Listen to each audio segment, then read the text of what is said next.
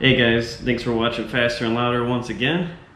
So, I have something I wanted to share with you guys. I didn't know how many people are actually aware that this certain product exists, but it's actually making me think about doing more stuff to my car.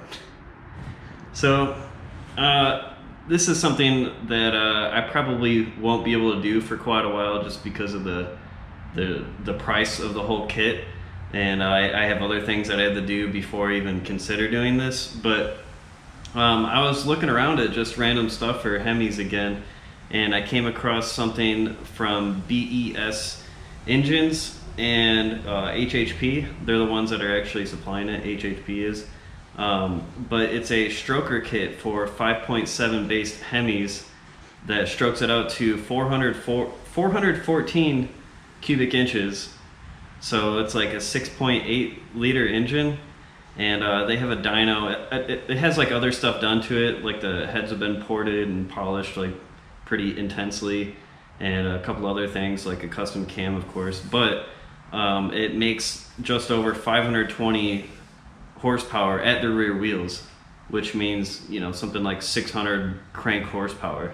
So we're talking like a 220 or 230 horsepower gain over stock, like the stock 5.7.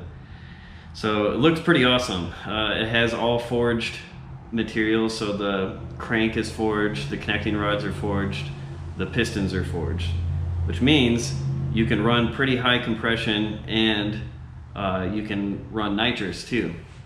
So just the thought of having like a maybe 11 to 1 compression and actually doing like 100 150 shot of nitrous like that's that's pretty cool. That's pretty intense. That would be i don't know you'd you'd be in the tens maybe maybe like high tens i'm thinking.